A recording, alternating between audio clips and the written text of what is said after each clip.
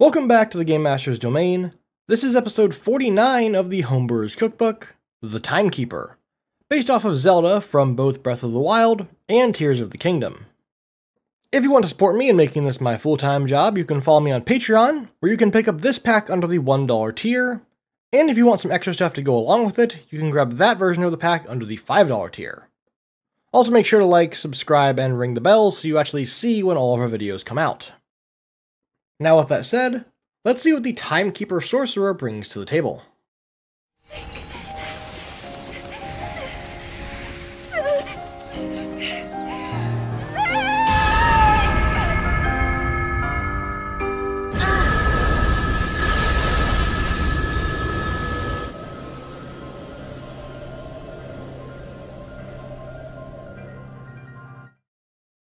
Now, before anyone says anything, I know that with Zelda, it really seems like this should be a cleric domain and not a sorcerer origin, and possibly even a wizard school of some sort given how much she studies, but I do have my reasons for why I went with sorcerer instead.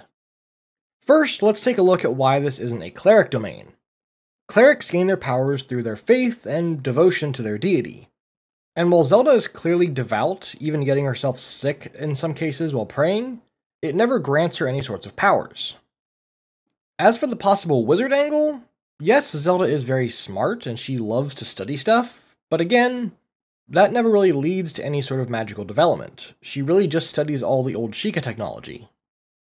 Meanwhile, during the Calamity, what actually unlocked Zelda's power wasn't faith to a god or study of some ancient tech, but instead it was a powerful emotional reaction to someone she cares about getting hurt. Not only that, with Tears of the Kingdom and Breath of the Wild, it's a lot more clear that these powers are passed down through Zelda's bloodline, since her mother had these powers when she was alive, and now Zelda has them. And if that isn't a sorcerer, I don't know what is. Oh, and there are possible Tears of the Kingdom spoilers. I don't know what footage I'm going to be using just yet in the background, so I just want to cover that before we go any further. Okay, is everyone still here? Perfect. That means we can look at the spells you get for being born with the blood of the goddess. I'm really happy that the Tasha's book actually decided to give sorcerers origin spells, so now they can have just a bit more freedom with what they're picking. I tried to keep most of these spells time or light themed, given, well, that this is another time based subclass, but not quite in the same way as the Time Killer, where you kept stopping time, but more in this one you're controlling time, fast forwarding or reversing it as you need. So first up, we have something to help speed up your reaction time. The first level spell, Gift of Alacrity, which lets you add 1d8 to your initiative rolls. And to give your team the classic giant glowing weak point that Zelda bosses have, you also get Guiding Bolt, which on top of giving your team advantage on their next attack against that creature, it also does a good amount of radiant damage. Also, I have no idea if you guys can hear it, there is a bird having a fit outside my window and I cannot get him to stop. So if you can hear him, say hi. For second level spells, both of them are kind of time related. The first one, which lets you get a small glimpse into the future, is Augury. Or your second spell, Mirror Image, lets you grab some past and future versions of yourselves to mess with your enemies.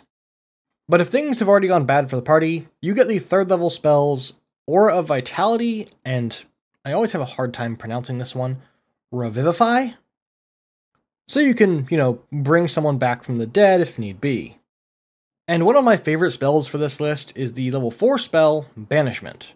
I really couldn't not give a Zelda inspired sorcerer Banishment with her ability to seal Ganon away for 100 years, and Resilient Sphere for, I guess, like her diamond spinning attack in Smash? That works, right? And once you hit level 9, you do get your last spells for this Origin set. Those being Greater Restoration to remove curses or other nasty effects like that, and Temporal Shunt to just move someone else through time when they try to attack you. Shows them. This spell just reminds me of the Dio and Polnareff stair scene, and I think that says enough. But unlike Dio, you can do more than just stopping time. You can also fast forward it or reverse it at will with your first ability, ebb and flow. This lets you speed up or slow down time within a 15 foot radius around you, and it comes in two parts. First, as a bonus action, you can target a friendly creature and give them an extra action on their turn, like if you'd cast haste on them. So it can only be used to make a single weapon attack, cast a spell, or stuff like that. Or if an enemy happens to move within 15 feet of you, you can use your reaction and force them to make a wisdom saving throw. If they fail that saving throw, their movement speed is reduced by half until the end of their next turn, leaving them wide open for your teammates to pincushion them. For the time being, this is a once per rest ability, so just be mindful of where you use it. It's really up to you when you use these, obviously, but it might be a bit of a waste to use the slowdown feature on a grunt running past you, when you could use it to slow down the boss who's trying to run away. So, uh, remember how, like, less than 30 seconds ago, I said you could only use Ebb and Flow once per rest? Well, not anymore. Since the secondary effect of your level 6 feature, Time Walker, lets you use it a number of times based on your Charisma modifier. So now you can slow down your enemies a lot more, while still making your fighter a blur of attacks. Oh, and if you wanted to double up on turning your fighter into a blender, the main effect of Time Walker lets you cast either haste or slow once per day for free. There's actually a really mean combo you can do with haste if you have another caster in the team that happens to have enchantment spells.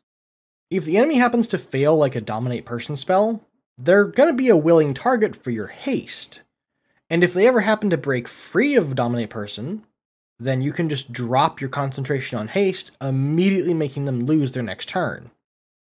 So not only did you bring them to your side for a little bit, you also immediately stop them from taking their next turn once they break free, and by then they should be close to going down. But if things aren't going so well for your fight, maybe the plan didn't work out, or something just went horribly wrong, you might need to take one of the new spells you can grab between level 6 and 14 that should hopefully turn the fight around. And that is the new 7th level Necromancy spell, Temporal Rescue. This time reversal spell takes one action to cast and requires 100 gold, which is consumed, a lot like most revival spells with their diamonds, but I just did the gold here.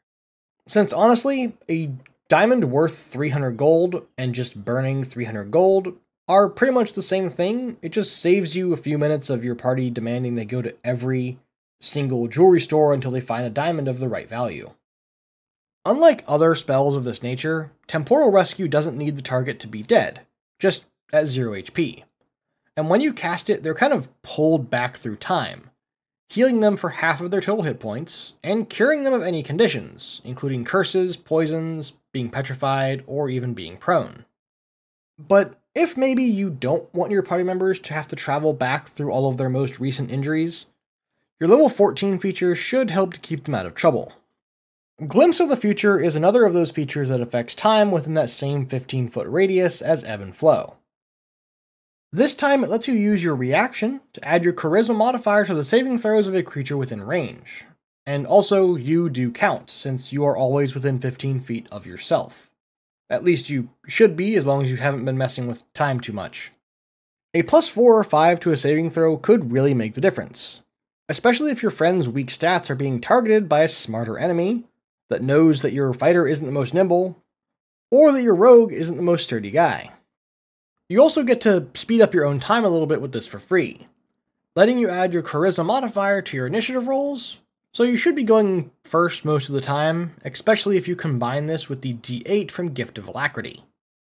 So you should be able to get your buffs out before anyone else gets a turn. But you know, not everything goes to plan, and sometimes it's good to have a panic button. Something you can hit when stuff hits the fan and you need to make sure that at least one character survives so there's no TPK. And aside from also making it so that you don't age, that's what your level 18 feature, the Sage of Time, kind of does for you. It's a panic button, but it also doesn't have to be, and you'll see why in a minute. What this actually does is pretty simple. You use your action to rewind yourself, teleporting to some place you've been within the last 24 hours, healing up to half your HP maximum, and regaining some spell slots. But like I said, this doesn't have to be a panic button. It could be used as a mid fight heal and refresh on your spell slots or be used to go back in time to when you had enough spell slots to revive a fallen ally, or get to a different position that's more advantageous for the fight. Or again, used to bail on a fight if you don't have any other choice. Just hope it never gets to that point. You only get so many redos after all. Normally, I would end it here. I went over spells, features, and stuff like that. But for once, I also made a few meta magic options, and I wanted to go over two of those here. But the last one you'll have to wait and find it on Patreon. So let's hop in. First, I made Delayed Spell. Have you ever looked at Delayed Blast Fireball and wanted to do that with other spells? I really have. After all, why should Fireball get all the love?